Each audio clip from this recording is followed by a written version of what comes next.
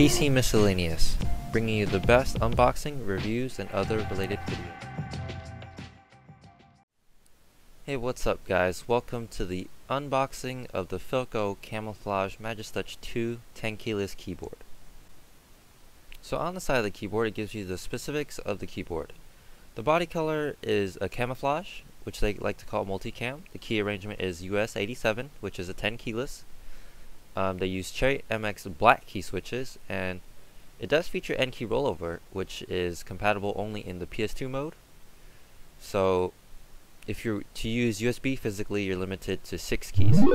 So basically if you have the PS2 on you have pretty much the best anti-ghosting ever.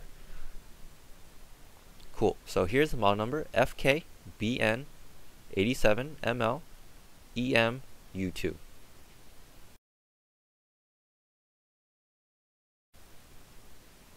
Now, real quick, Multicam is their line from Filco, which has the multimedia keys.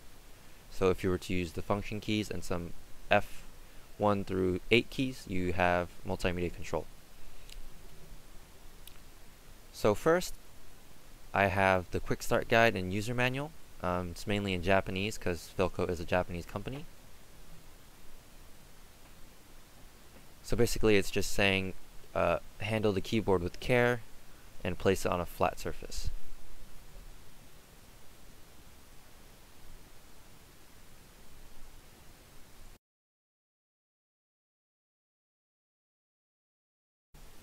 Now here is the USB to PS2 connector. It is in camo green, but it is not gold plated.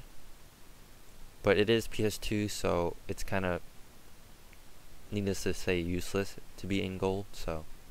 But it is very nice that they do include one for you that does match the cable.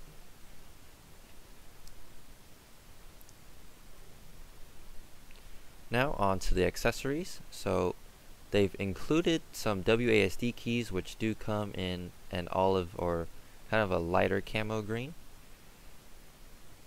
Very nice touch. Normally if you were to buy these on your own there would be like five bucks and also they do include a key puller which I have not seen in many other keyboards. Um, maybe they include a cheap key puller but not one like this. So for this key puller you can use it for the larger keys like shift enter and backspace and spacebar.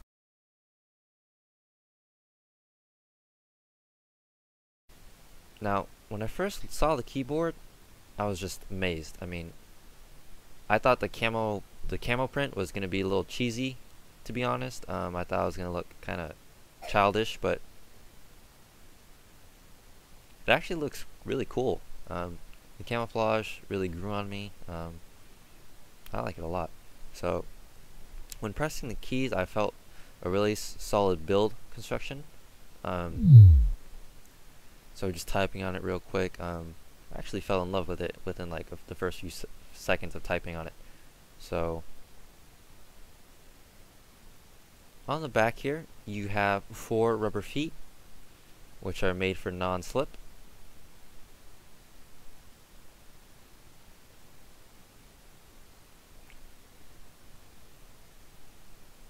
And they also included risers, so if you want some elevation to your keyboard, you can just pop those up and you got a little elevation there and they also did include the rubber feet on the uh, the risers. I like my keyboard flat, so I'm just going to leave it flat.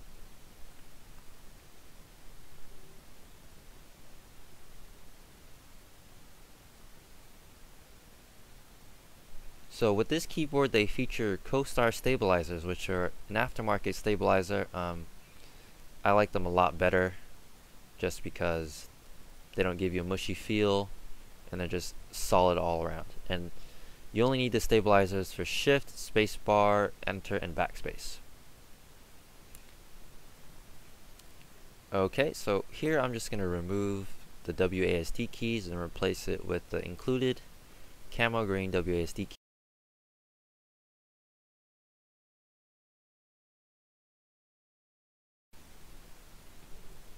So here, this is what makes a Cherry MX black. The actual key switch itself is colored black.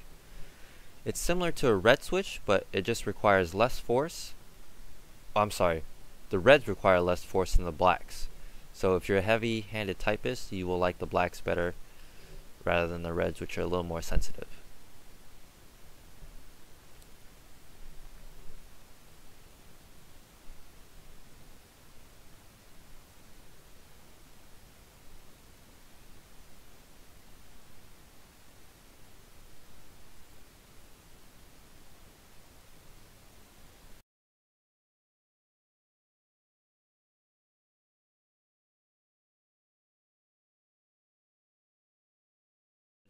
I like the camo keys, so I'm just going to leave those on there. I think it adds a nice contrast to the board and just makes the board look aesthetically pleasing.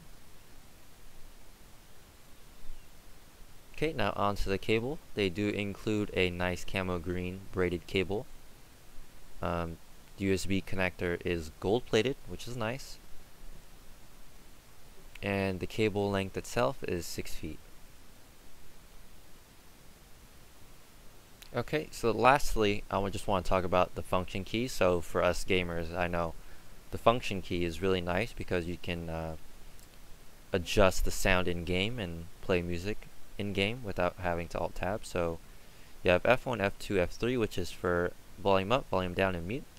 You have rewind as F5, play, pause, stop, and forward. And lastly, you have a sleep mode. Now, they still did include the Windows key, which is on the right hand side.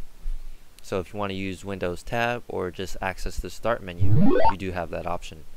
And that pretty much wraps it up. So, um, thanks for watching, guys. Hopefully, you guys subscribe for more for more videos. Um, yeah, that's all I have for you guys today. Thanks. Bye.